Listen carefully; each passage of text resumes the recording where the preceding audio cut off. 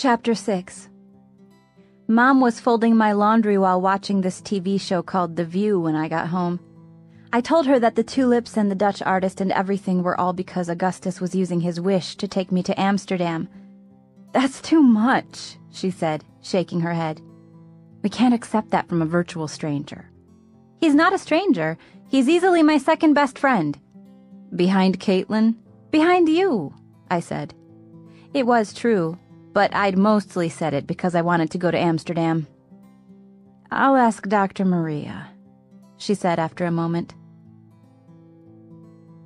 Dr. Maria said I couldn't go to Amsterdam without an adult intimately familiar with my case, which more or less meant either Mom or Dr. Maria herself.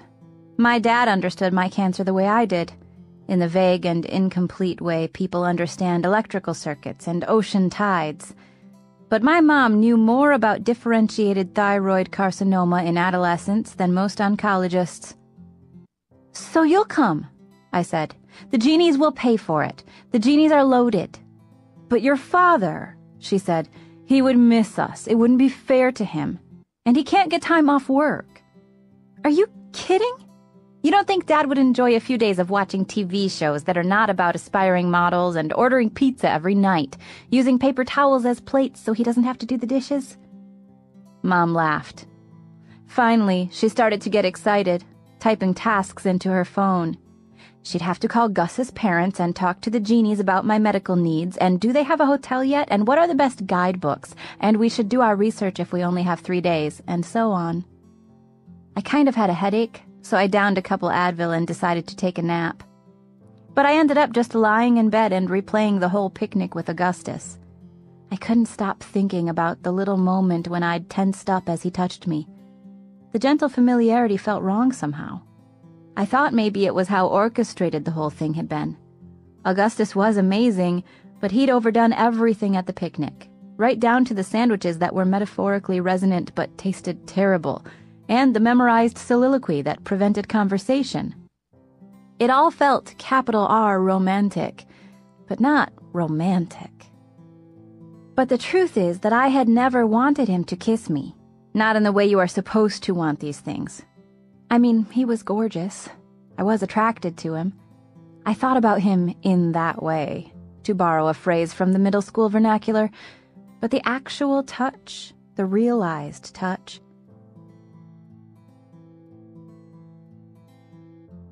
it was all wrong. Then I found myself worrying I would have to make out with him to get to Amsterdam, which is not the kind of thing you want to be thinking because A, it shouldn't have even been a question whether I wanted to kiss him. And B, kissing someone so that you can get a free trip is perilously close to full on hooking. And I have to confess that while I did not fancy myself a particularly good person, I never thought my first real sexual action would be prostitutional. But then again, he hadn't tried to kiss me. He'd only touched my face, which is not even sexual. It was not a move designed to elicit arousal, but it was certainly a designed move because Augustus Waters was no improviser. So what had he been trying to convey? And why hadn't I wanted to accept it? At some point, I realized I was Caitlining the encounter, so I decided to text Caitlin and ask for some advice. She called immediately. I have a boy problem, I said. Delicious, Caitlin responded. I told her all about it complete with the awkward face touching, leaving out only Amsterdam and Augustus's name. You're sure he's hot? She asked when I was finished. Pretty sure, I said. Athletic? Yeah, he used to play basketball for North Central. Wow, how'd you meet him? This hideous support group. Huh. Caitlin said, Out of curiosity, how many legs does this guy have? Like 1.4, I said, smiling. Basketball players were famous in Indiana, and although Caitlin didn't go to North Central, her social connectivity was endless. Augustus Waters, she said. Um, maybe? Oh my god. I've seen him at parties. The things I would do to that boy. I mean, not now that I know you're interested in him, but oh, sweet holy Lord, I would ride that one legged pony all the way around the corral. Caitlin, I said. Sorry. Do you think you'd have to be on top? Caitlin, I said. What were we talking about? Right. You and Augustus Waters. Maybe. Are you gay? I don't think so. I mean, I definitely like him. Does he have ugly hands? Sometimes beautiful people have ugly hands. No, he has kind of amazing hands. Hmm, she said. Hmm, I said. After a second, Caitlin said, Remember Derek? He broke up with me last week because he'd decided there was something fundamentally incompatible about us deep down, and that we'd only get hurt more if we played it out. He called it preemptive dumping. So maybe you have this premonition that there is something fundamentally incompatible and you're preempting the preemption. Hmm, I said. I'm just thinking out loud here. Sorry about Derek. Oh, I got over it, darling. It took me a sleeve of Girl Scout Thin Mints and 40 minutes to get over that boy. I laughed. Well, thanks, Caitlin. In the event you do hook up with him, I expect lascivious details. But of course, I said. And then Caitlin made a kissy sound into the phone, and I said, bye, and she hung up. I realized while listening to Caitlin that I didn't have a premonition of hurting him. I had a postmonition. I pulled out my laptop and looked up Caroline Mathers. The physical similarities were striking. Same steroidally round face, same nose, same approximate overall body shape. But her eyes were dark brown, mine are green, and her complexion was much darker, Italian or something. Thousands of people, literally thousands, had left condolence messages for her. It was an endless scroll of people who missed her, so many that it took me an hour of clicking to get past the I'm sorry you're dead wall posts to the I'm praying for you wall posts. She'd died a year ago of brain cancer. I was able to click through to some of her pictures. Augustus was in a bunch of the earlier ones, pointing with a thumbs up to the jagged scar across her bald skull, arm in arm at Memorial Hospital's playground, with their backs facing the camera kissing while Caroline held the camera out so you could only see their noses and closed eyes. The most recent pictures were all of her before, when she was healthy, uploaded post mortem by friends. A beautiful girl, wide hipped and curvy, with long, straight, dead black hair falling over her face. My healthy self looked very little like her healthy self. But our cancer selves might have been sisters. No wonder he'd stared at me the first time he saw me. I kept clicking back to this one wall post, written two months ago, nine months after she died, by one of her friends. We all miss you so much. It just never ends. It feels like we were all wounded in your battle, Caroline. I miss you. I love you. After a while, Mom and Dad announced it was time for dinner. I shut down the computer and got up, but I couldn't get the wall post out of my mind and for some reason it made me nervous and unhungry. I kept thinking about my shoulder, which hurt, and also I still had the headache, but maybe only because I'd been thinking about a girl who'd died of brain cancer. I kept telling myself to compartmentalize, to be here now at the circular table. Arguably too large in diameter for three people, and definitely too large for two. With this soggy broccoli and a black bean burger that all the ketchup in the world could not adequately moisten. I told myself that imagining a met in my brain or my shoulder would not affect the invisible reality going on inside of me. And that therefore all such thoughts were wasted moments in a life composed of a definitionally finite set of such moments. I even tried to tell myself to live my best life today, for the longest time, I couldn't figure out why something a stranger had written on the internet to a different and deceased stranger was bothering me so much and making me worry that there was something inside my brain, which really did hurt, although I knew from years of experience that pain is a blunt and non-specific diagnostic instrument. Because there had not been an earthquake in Papua New Guinea that day, my parents were all hyper-focused on me, and so I could not hide this flash flood of anxiety. Is everything all right? asked Mom as I ate. Uh huh, I said. I took a bite of burger, swallowed, tried to say something that a normal person whose brain was not drowning in panic would say. Is there broccoli in these burgers? A little, Dad said. Pretty exciting that you might go to Amsterdam. Yeah, I said. I tried not to think about the word wounded, which of course is a way of thinking about it. Hazel, Mom said. Where are you right now? Just thinking, I guess, I said. Twitter-pated, my dad said, smiling. I am not a bunny, and I am not in love with Gus Waters or anyone, I answered, way too defensively. Wounded. Like Caroline Mathers had been a bomb, and when she blew up, everyone around her was left with embedded shrapnel. Dad asked me if I was working on anything for school. I've got some very advanced algebra homework, I told him. So advanced that I couldn't possibly explain it to a layperson. And how's your friend Isaac? Blind, I said. You're being very teenagery today, Mom said. She seemed annoyed about it. Isn't this what you wanted, Mom? For me to be teenagery? Well, not necessarily this kind of teenagery, but of course your father and I are excited to see you become a young woman, making friends, going on dates. I'm not going on dates, I said. I don't want to go on dates with anyone. It's a terrible idea and a huge waste of time and, honey, my mom said.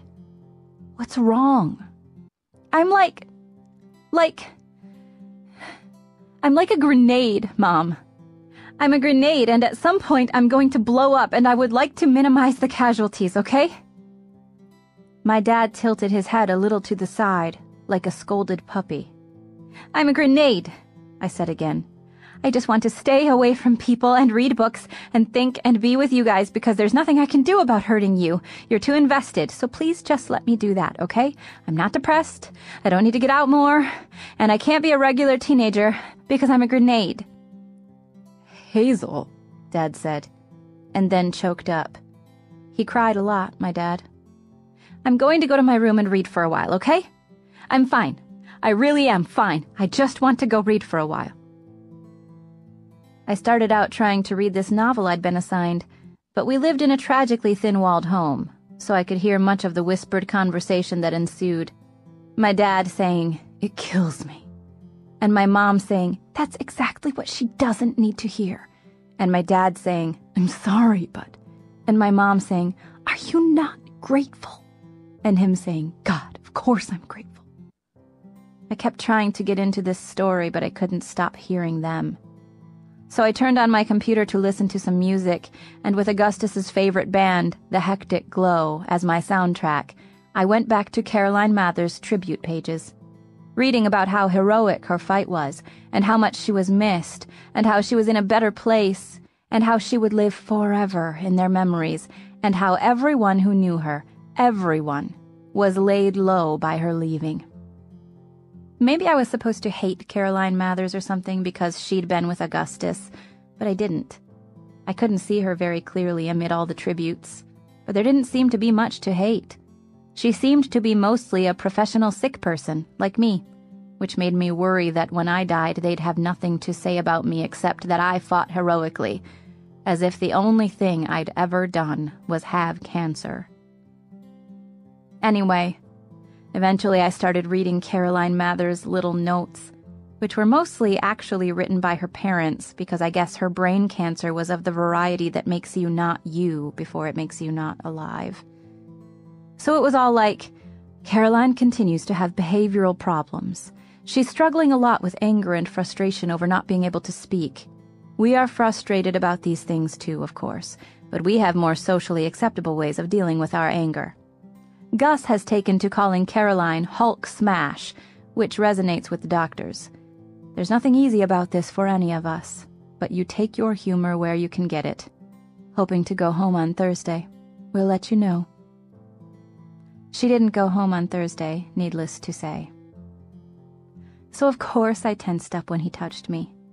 To be with him was to hurt him, inevitably. And that's what I'd felt as he reached for me. I'd felt as though I were committing an act of violence against him. Because I was. I decided to text him. I wanted to avoid a whole conversation about it. Hi, so, okay. I don't know if you'll understand this, but I can't kiss you or anything. Not that you'd necessarily want to, but I can't. When I try to look at you like that, All I see is what I'm going to put you through. Maybe that doesn't make sense to you. Anyway, sorry. He responded a few minutes later. Okay. I wrote back. Okay. He responded, Oh my god, stop flirting with me. I just said, Okay. My phone buzzed moments later. I was kidding, Hazel Grace. I understand. But we both know that okay is a very flirty word. Okay is bursting with sensuality. I was very tempted to respond okay again, but I pictured him at my funeral, and that helped me text properly. Sorry. I tried to go to sleep with my headphones still on, but then after a while my mom and dad came in, and my mom grabbed Bluey from the shelf and hugged him to her stomach, and my dad sat down in my desk chair, and without crying he said, You are not a grenade. Not to us. Thinking about you dying makes us sad, Hazel. But you are not a grenade. You are amazing. You can't know, sweetie because you've never had a baby become a brilliant young reader with a side interest in horrible television shows, but the joy you bring us is so much greater than the sadness we feel about your illness. Okay, I said. Really, my dad said. I wouldn't bullshit you about this.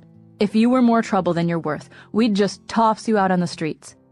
We're not sentimental people, Mom added, deadpan. We'd leave you at an orphanage with a note pinned to your pajamas. I laughed.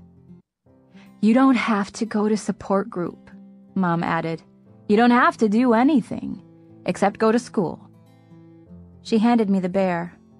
I think Bluey can sleep on the shelf tonight, I said. Let me remind you that I am more than 33 half years old. Keep him tonight, she said. Mom, I said. He's lonely, she said. Oh my god, Mom, I said but I took stupid Bluey and kind of cuddled with him as I fell asleep. I still had one arm draped over Bluey, in fact, when I awoke just after four in the morning with an apocalyptic pain fingering out from the unreachable center of my head.